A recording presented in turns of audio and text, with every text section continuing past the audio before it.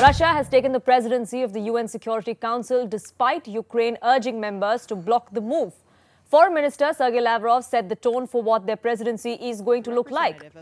In a scathing attack uh, took on the West at the United Nations Security Council, Sergei Lavrov turned the tables on the West. Laying out the criminal misadventures of Washington, he went on to say that the shameful invasion of Iraq in 2003 was a violation of the UN Charter. Russian minister cited historical examples of America's military aggression, including the nuclear bombing of Hiroshima and Nagasaki. He also blamed the United States for a brutal coup in 2014 to install a Nazi Kiev regime, which the Russians have often called as justification for their war on Ukraine. He then rebuked the United States authorities for denying travel visas to Russian journalists to accompany him to New York for this particular UNSC session. But those allegations were met with an equal rebuttal. United States rebutted with citing the wrongful detention of Wall Street journalists on charges of espionage as a reason as to why they denied visas to Russian journalists for this trip. Russia further refused Israel's request to reschedule a key debate on the Palestine issue as well. That move, too, is being widely criticized. It's seen as Moscow's retaliation for Jerusalem's support to Ukraine amid the ongoing war. Now, Russia and United States have been at loggerheads for multiple issues over multiple decades. That rivalry is not new. The latest flashpoint, of course, is the Russian invasion of Ukraine. What exactly transpired at the UNSC yesterday? Take a look. Russia is a permanent member of the Security Council, which has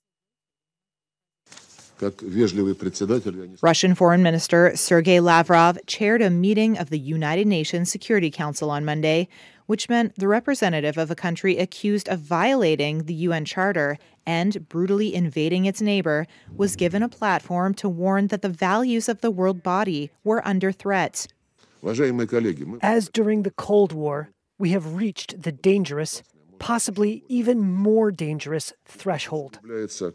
Russia is a permanent member of the Security Council, which has a rotating monthly presidency. Before Lavrov's remarks, Secretary General Antonio Guterres stated plainly that Moscow's invasion ran contrary to the United Nations mission. Russia's invasion of Ukraine, in violation of the United Nations Charter and international law, is causing massive suffering and devastation to the country and its people and adding to the global economic dislocation triggered by the COVID 19 pandemic. And the U.S. envoy, Linda Thomas Greenfield, went further. Our hypocritical convener today, Russia, invaded its neighbor, Ukraine, and struck at the heart of the UN Charter. Thomas Greenfield also accused Russia of violating international law by wrongfully detaining Americans, calling for the release of Wall Street Journal reporter Evan Gershkovich and ex Marine Paul Whelan. Whelan's sister Elizabeth was in the chamber on Monday. And I want Minister Lavrov to look into her eyes and see her suffering. I want you to see what it's like to miss your brother for four years. I'm calling on you right now to release Paul Whelan, Evan Gershkovich, immediately, to let Paul and Evan come home, and to cease this barbaric practice once and for all. Before the meeting, Elizabeth Whelan accused Russia of arbitrarily detaining Americans as bargaining chips with the U.S. This is not the work of a mature and responsible nation. It is the action of a terrorist state. In addition to the U.S., a string of Security Council members, including France and Britain, condemned Russia for its war on Ukraine. But Moscow was not without allies in the room. China, which has a no limits partnership with Russia, welcomed Lavrov as chair of the meeting and sided with Russia in condemning Western sanctions. Unilateral sanctions that violate international law must be resisted. The United Nations is working to save an agreement that allows the safe export of Ukraine's grain from Black Sea ports that could expire on May 18th. Russian Foreign Minister Sergei Lavrov chaired a meeting of the UN Security Council on Monday amidst deep divisions surfacing with the United Nations Secretary General right at that meeting. The odd neighborhood within the Security Council arose because Russia holds the rotating presidency of the Security Council for the month of April. Fundamental differences were to the fore immediately at this meeting. Russia, of course, sees itself as the voice of an alternative world order together with China against the influence of the US, NATO, and what are broadly clubbed as Western powers. And those others uh, see the Russian presidency itself as an instance of the failure of the UN system in which a supposed custodian of the world order has turned aggressor against a neighbor country. Seated right next to Lavrov, UN Secretary General Antonio Guterres said that the Russian invasion of Ukraine had brought massive suffering and devastation. We face unprecedented and interlocking crises, but the multilateral system is under greater strain than at any time since the creation of the United Nations. Tensions between major powers are at an historic high. So are the risks of conflict through misadventure or miscalculation. Russia's invasion of Ukraine, in violation of the United Nations Charter and international law, is causing massive suffering and devastation to the country and its people and adding to the global economic dislocation triggered by the COVID 19 pandemic. In some sense, Lavrov seemed to agree over the extent of the crisis. He said the world has become a more dangerous place now and that the dangerous threshold now matches and surpasses that of the Cold War. He said the situation has worsened because nobody is allowed to Western power and the Western minorities to speak for all of humankind. In order to halt the war that was. We heard what transpired at the UNSC, but how is Ukraine responding to all of this? To answer those questions, joining me on this broadcast is Member of Parliament from Ukraine, Volodymyr Ariev. Thank you so much for speaking with us here on uh, News 18. I want to ask you the kind of reaction that came to the fore from uh, Sergei Lavrov yesterday at UNSC. He, in fact, turned the tables on the West, including the United States, for their support, continued one at that, over the last one year to Ukraine. Well, we understand that uh, Lavrov will not uh, be polite uh, towards Ukraine, but his words uh, uh, about what, what, he would like to present on uh, the international um, such, such kind of institution like a, Security Council uh, but finally, it shows the only weakness uh, of Russian position. They cannot explain what's going on uh, uh and why uh, their uh, their ongoing uh, more than one year aggression uh, is still hurts Ukraine so much. And the president of Russia, Vladimir Putin, have been accused by the International Criminal Court with as a, a uh, suspended uh, criminal uh, uh, for uh, forced, move, forced movement of children from uh, Ukraine to Russia.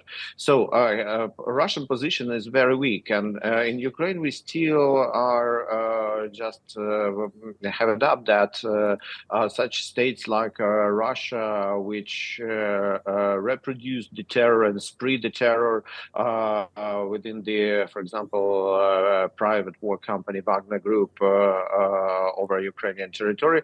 So why, why this country can uh, chair the uh, the United Nations Security Council. So it means that uh, United Nations uh, need a real Uh, serious reforms uh, to avoid that, as well as uh, uh five countries uh, that, including Russia and China, where that, especially Russia and China, that jeopardized the security uh, over the world uh, and uh, especially for neighbors. Why can't they be have a right to block any decision of UN Security Council making it useless? So we are strongly in Ukraine for moving out Russia as a state uh, supporting terrorism uh, and as well as for uh, the reform in uh, of, of uh, United Nations, in, especially in terms of Security Council, because it's when Russia chairs it, it's not a matter of security; it's a matter of deepening crisis over the world.